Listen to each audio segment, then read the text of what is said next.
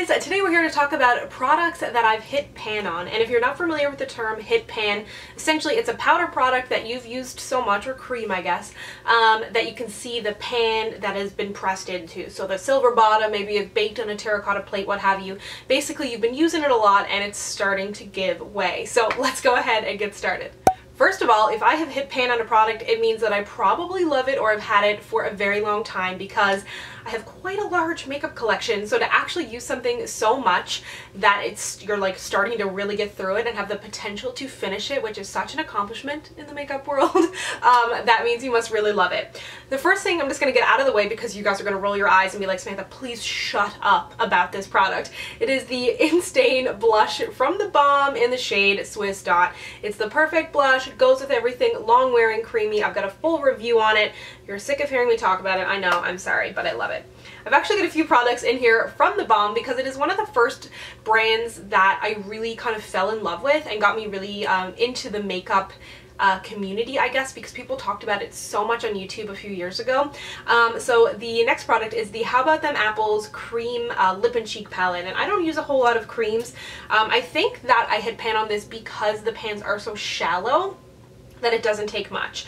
Um, but the palette itself is so cute. It's got all these little apples and then these cute boys next to it. Um, so the one that I used is the shade Caramel, which is like a gorgeous neutrally brown shade. Looks great on the lips, great on the cheeks. As I've mentioned before, I don't use a lot of cream products, um, and I think that I really only got through this because it is such a shallow pan and I was kind of digging my brush in there, I guess. Generally with this kind of thing, hey, whoa. I really need to film with a towel beneath me because the amount of times I get stuff on our white bed sheets is insane. Um, that just fell out. I have no idea why. But I do love this palette. It is super cute, really nice and compact. And if you do love cream blushes, I highly, highly recommend it. Then from the Balm, I've also used a lot of the Time Balm Concealer. I don't mention this on my channel very often, I don't think.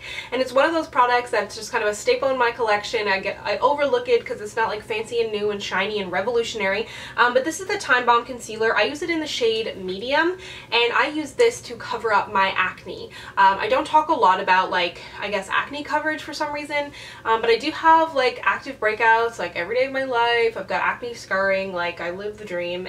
and um, this is something that I really love to use. It is a nice thick concealer. I don't really like it under my eyes because it is so creamy and thick, um, but it is great for covering up scarring, any active active breakouts, and it does a really good job. Great coverage, long lasting, um, and I think it's just an amazing concealer. You get tons of product in here and it's not overpriced, and if you're looking for something to uh, cover up any marks you have on your skin, I really, really like this one, and I should have talked about it before now.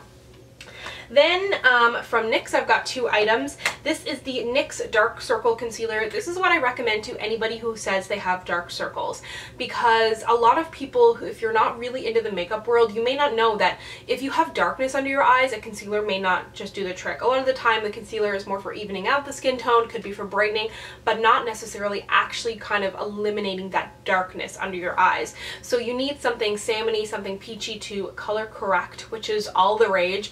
Um, and this is a great cheap option because if you're going to be using a concealer and a corrector, you don't necessarily want them to be like both really high end. So this is in the shade Deep and you'll see in my swatch here that it's a great kind of peachy shade. I'll use this under my eyes. I've got a little darkness around my mouth. Sometimes I'll even use it on acne scarring if it's kind of dark.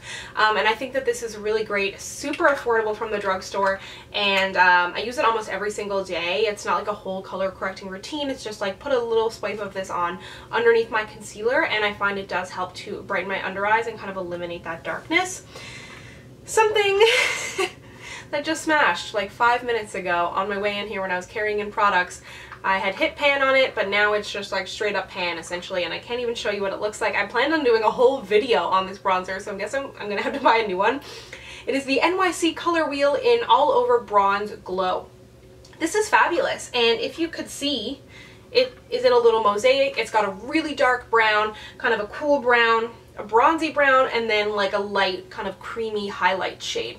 I love swirling this all together. If you've got a skin tone like mine and you have trouble finding like bronzers slash contours at the drugstore, this is a great option. Very, very affordable. NYC is super cheap.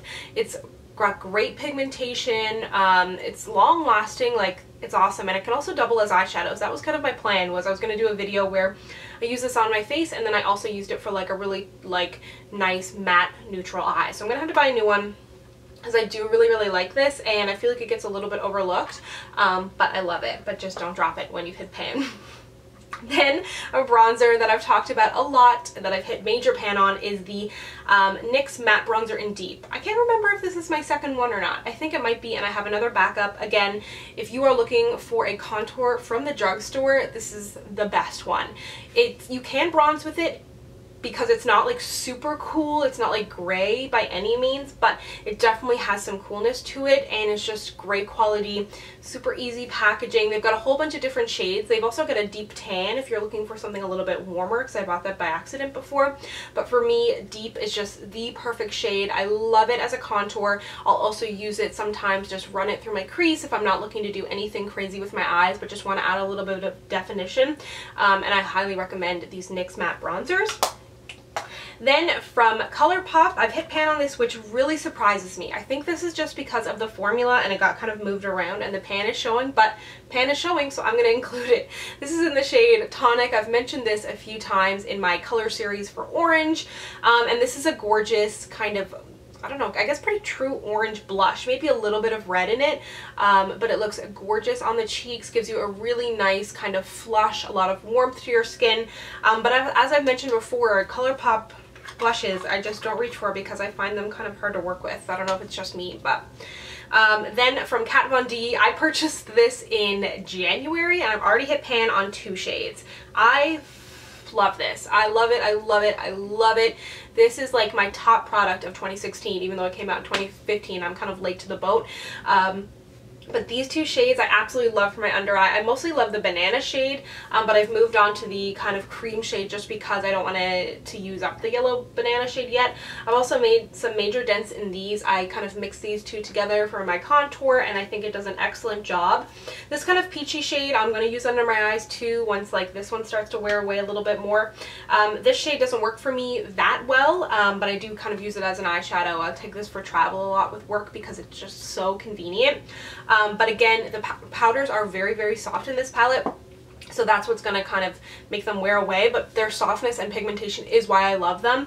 Um, and I believe she is releasing this so that the pans will be removable and replaceable. And when that happens, um, that's going to be great because then I won't have to keep buying like this palette, but I will totally repurchase this forever and ever. It is amazing. Um, so that is everything that I have hit pan on, which is a big accomplishment. If you'd like to see like a project pan or anything, let me know. I've never really done those videos. I know that it's really popular. There's a whole panning community out there, um, and I'm not really a part of it, but I wouldn't mind doing a project pan or something. I think that would be kind of interesting, but then again, I also get really bored of using the same products. That is why I'm a makeup junkie. Also, shout out to Chelle from Make Up Your Mind. She did this video a little while back and inspired me to do it. I will link to her a video down below. And if you'd like to connect with me, you can find me on Instagram, Twitter, and Snapchat at Samantha Jane YT. Don't forget to mention what you have hit pan on recently down below, and I will see you guys next time. Bye!